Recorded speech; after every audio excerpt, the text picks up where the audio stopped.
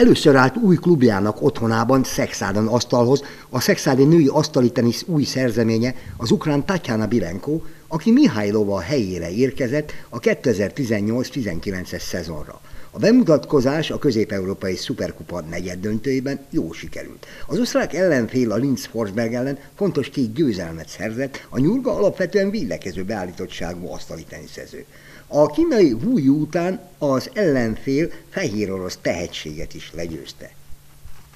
Valóban kezdek újra formába lendülni, értékelem ezt a mostani két győzelmet, mert jó játékelőt képviselő, végsőkig küzdő fiatalok ellen értem el, és hozzásegítettem ezzel csapatomat a magabiztos 6-1-es győzelemhez. Ami az érkezésemet illeti, minden rendben van, az a barátságos viszonyulás, amit mindenkitől itt a Szexádi klubnál megkapok, segít abban, hogy csak a játékra koncentráljak újra.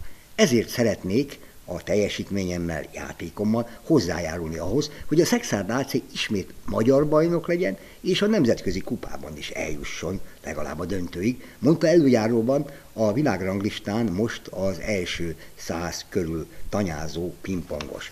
Azt a teljesítményt, amit a világranglistán az első 50 közé tartozó orosz Mihálylova produkált a Szexárd AC-nél, természetesen nem várja el Bilenkótól a szakvezetés, nem is ezért igazol. Szakmailag én úgy gondolom, hogy a Mihálylova jobb pingpongozó, tehát most...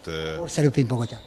Korszerű, meg kellemetlen pingpongozó volt, ugye beleütögetett, hatékonyabb volt a világranglista helyezése is, ugye előkelőbb, mint a tányának. Szeretjük a tányát, remélem, hogy jó felé el fogunk indulni.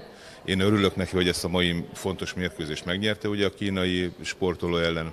Nagyon remélem, hogy a továbbiakban még fog bravúrokat végrehajtani, illetve a csapatnak a javára lesz. Az idén Magyarország rendezi az asztali tenisz világbajnokságot. A Szexárd AC-ból várhatóan négyen is ott lehetnek a világversenyen.